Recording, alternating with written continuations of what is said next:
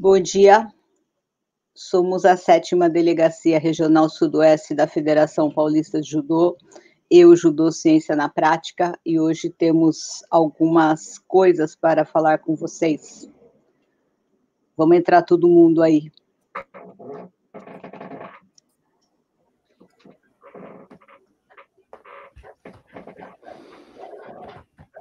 Pronto, Olá. gente. Pronto, vamos aqui. Vai, eu, eu começo, né? Colocar... Primeiro vamos fazer o sorteio? Ah, é. Primeiro, é, então, nós temos um, empate entre duas pessoas, né? Um é o Lucimar Rocha e o outro é o Marcos Banzan, ambos com 21 certificados. Qual foi a diferença? Foram aqueles dois lá do Double Eight que eles fizeram com é, o primeiro curso que nós fizemos de aprendizagem de comportamento motor, né? Eles participaram.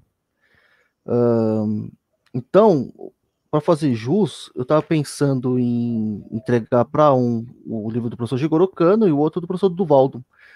Né? Agora a gente só faria um sorteio só para definir quem fica com quem. Aí eu peço para o nosso amigo aí, o cara do sorteio, o Fernando, aí, poder fazer o sorteio.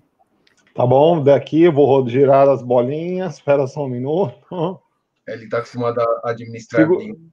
Segura um dos livros aí que dá na sua mão, hein? Segurou? Rocha. Rocha, beleza. Rocha.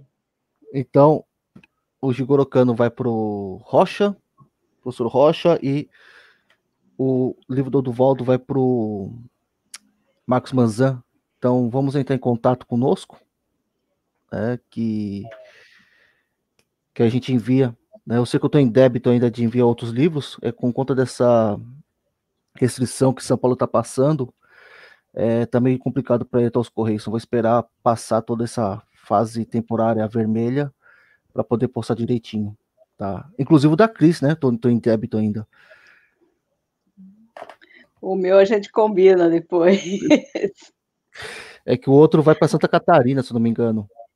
Né? Então. Quem que era o outro? Ah, puxa, eu esqueci o nome. Preciso ver vai só para cantar Santa Catarina. Tá. Mas aí a gente olha na, nas listas que nós temos e fica fácil. Não, a gente pra... tem contato já comigo já. Ah, já? Já. Ah, legal. Bom, então, depois de feito o sorteio da, dos livros pelo Judô Ciência na Prática, é, nós temos algumas coisas a dizer para todos. Fábio, começa? Vou começar pelo sorteio do Garbeloto. Fui o primeiro a ser sorteado aí, nos critérios de bingo dele. Olá a todos. É, na verdade, a gente, é, dentro das possibilidades, como a gente sempre fala, né, nesse momento diferente, é, primeiro mesmo agradecer todo mundo que nesses últimos oito meses, praticamente seis, oito meses, vem acompanhando a gente. É, a gente teve a oportunidade é, de conhecer muita gente, falei um pouquinho antes de, de entrar, apesar de ter sido um ano ruim para algumas coisas e péssimo, ele foi bom ou ótimo para outras coisas. Eu conheci pessoas, mesmo que virtualmente, que nem as competições e nem o meio do judô, eu não, talvez eu não tivesse oportunidade de conhecer. Por exemplo, um exemplo bem distante é o sensei Adaelson, né, que sempre está com a gente. Quando a gente, eu ia imaginar que ia conversar com alguém do outro lado, lá do, na outra ponta lá do Brasil, é, mas mesmo aqui de São Paulo, né, a gente tem muita gente, muita gente, é, mesmo que seja da outra ponta da cidade ou na, da delegacia ao lado e que poucas vezes se cruzam né, pelo número de campeonatos realizados por cada uma das delegacias aqui. E eu acho que, além da parte de conteúdo, do que, do que nós é, estamos fazendo aqui, eu acho que essa interação, é, essa troca que está acontecendo com via mesmo que virtual, ela está sendo muito importante é, com aquela com essa palavra da moda, network, né? E você conhece a, as histórias das pessoas, as, é, os desafios das pessoas, você começa a conversar com as pessoas. Então, eu queria agradecer muito, eu me sinto privilegiado por fazer parte de, desse grupo com vocês e de fazer parte de, dessa situação que está acontecendo por conta mesmo desses benefícios.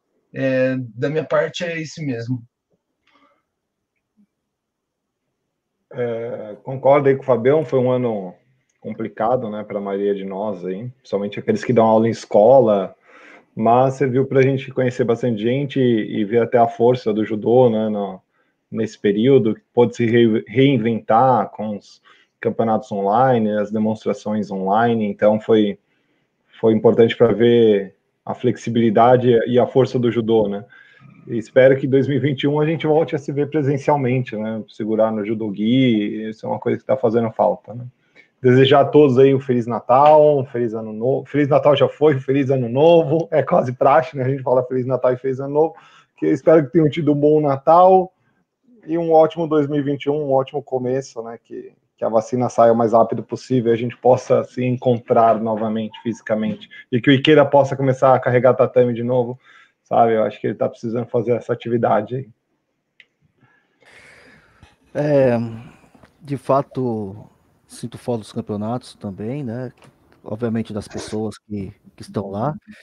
É, carregar tatame faz tempo que eu não carrego, tá? Diga de passagem. Uh, de fato, preciso fazer exercício físico por conta dessa quarentena aqui. Tá muito complicado as coisas, mas enfim.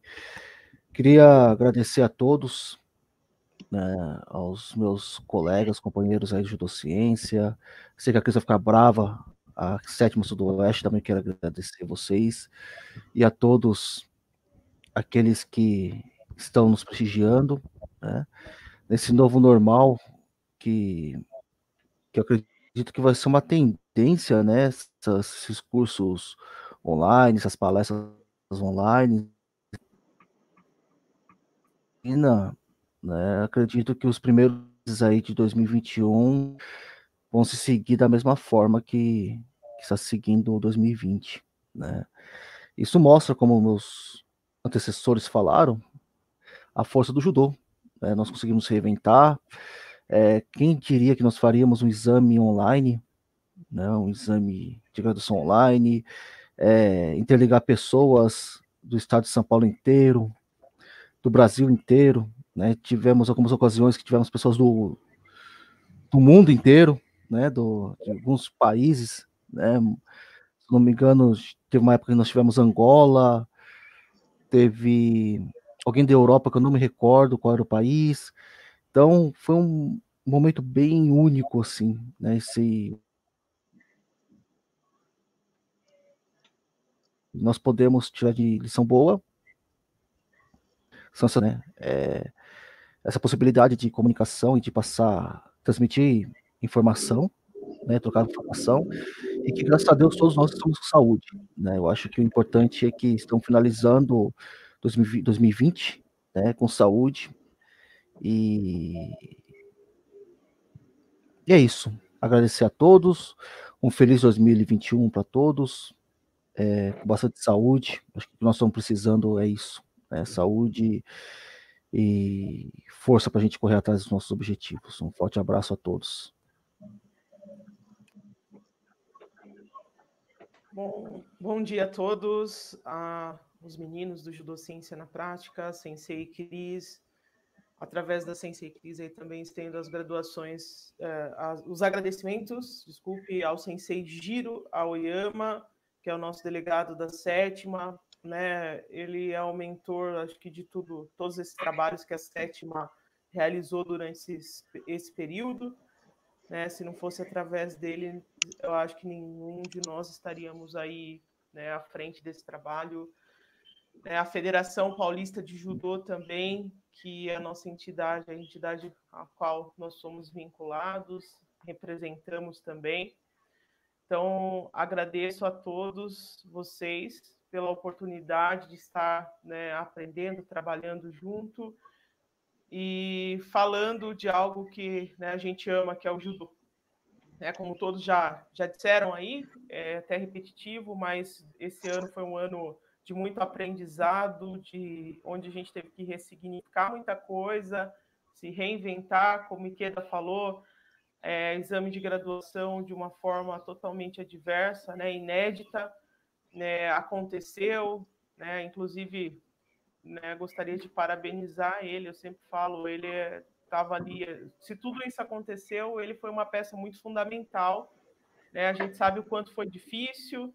Eu fui uma das pessoas aí como professora que estava lá é, pedindo help, né? Socorro, aí me ajuda. Mas imagino quanto ele ficou, né? É, é, tanto atarefado por conta dessa atividade, mas ela aconteceu com muita maestria. É, a gente é, colhemos os frutos aí, as pessoas satisfeitas, elogiando o trabalho. É, mas muito obrigada a todos aqueles que participaram, como o Fábio disse, né?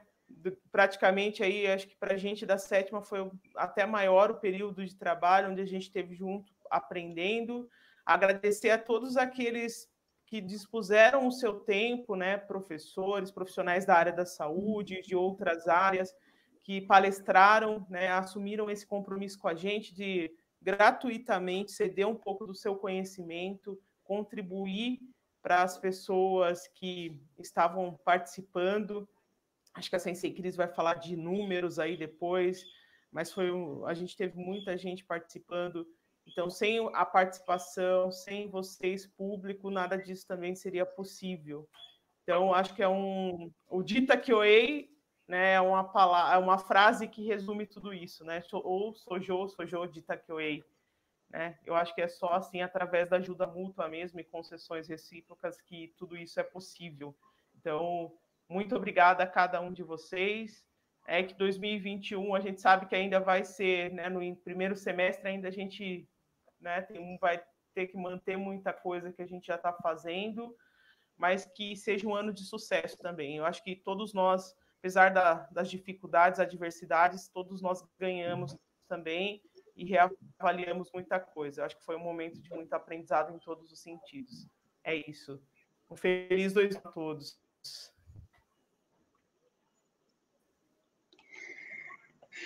Então, gente, 2020 foi diferente. É, eu acho que todos descobriram mais do judô. Nós descobrimos que o judô é muito maior do que o que a gente via. A, a gente ficava muito preocupado com competições é, é, eu mesma, eu acho que daqui, é assim, eu e o Ikeda, o tempo inteiro correndo, fazendo campeonato, pegando inscrição, era a nossa vida era uma loucura. Continua loucura, só que de outra forma. E de uma forma muito boa.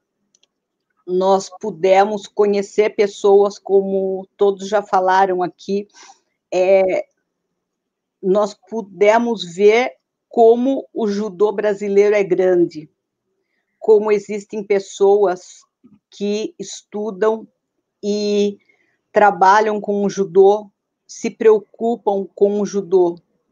E isso foi muito bom. Foi muito bom poder ver a quantidade de pessoas que participaram. Nós só pudemos fazer todas essas palestras porque vocês participaram. Então, a gente só pode agradecer muito para vocês. É, para a gente poder fazer tudo isso, a gente teve que estudar muito, a gente teve que aprender muito. Cada vez que a gente ia fazer alguma coisa, a gente aprendia. Nós aprendemos com os nossos palestrantes. É, nós temos muito a agradecer a todos que fizeram palestras para a gente, todos que aceitaram. Eu acho que teve um espírito de união em tudo isso. A gente sempre fala em Gitakuei, mas eu acho que a gente não vive sempre o Gitakuei.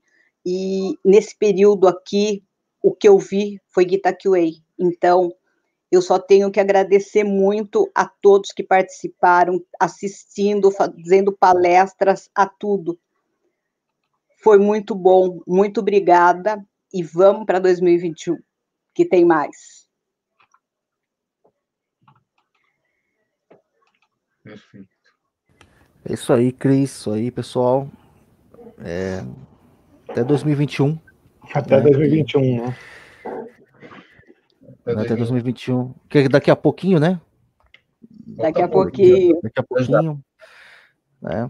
Até mais, pessoal. Até, Até mais, mais, gente. Boa virada. Obrigado por tudo aí. Tchau, tchau. Valeu, pessoas.